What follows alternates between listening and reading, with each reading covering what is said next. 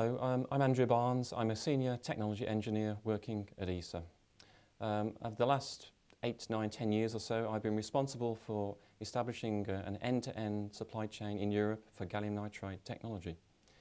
If you own a, a Blu-ray player, you're likely to own a, a small crystal uh, of gallium nitride as they're used to realize the high-performance uh, blue lasers. The gallium nitride is a, a very important material it can be used in a wide range of uh, applications, including the ability to have high output power capability, high voltage, operate at high temperatures, and also it's inherently radiation hard, and all these attributes are very important for space. The output of this effort uh, in 2008 was a program of work entitled the Gallium Nitride Reliability Enhancement and Technology Transfer Initiative, which is called GREAT for short.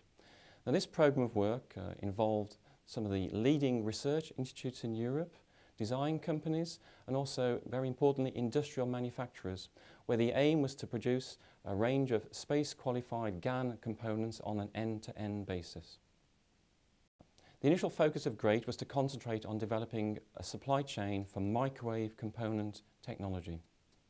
An important milestone occurred in 2013 when the first GREAT product was actually successfully tested in orbit.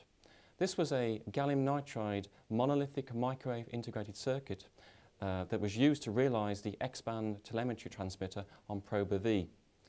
To date, the uh, X-band telemetry transmitter has been used to download extensive amounts of image data and has been operating perfectly seamlessly for over three and a half years with no drift in performance of the gallium nitride technology. Because of the flight heritage gained on Proba-V, this has started to give uh, ESA project teams confidence in using gallium nitride technology. So much so that the methodology adopted in GREAT is now being used to test hundreds of transistors for use in the ESA biomass mission.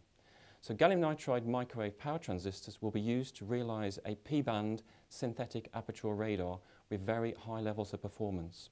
And without gallium nitride technology, this P-band SAR radar would not be able to achieve the uh, required mission specifications. So to date, the output of GREAT has been very successful. Um, we now have uh, our first technology already been running in space. We're starting to use the technology on uh, ESA missions. We aim in the future now to consolidate the good progress made by uh, performing space qualification on a range of European foundry processes to make uh, space system insertion uh, more easier to achieve. But also, we are now starting to leverage the techniques, uh, processes and materials development to move on to a different area. And this is in the field of gallium nitride power conversion.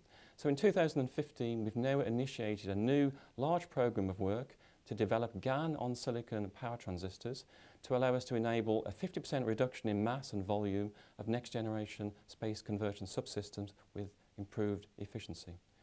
Undoubtedly, GaN is a disruptive technology that's already making a major impact, and this technology is here to stay.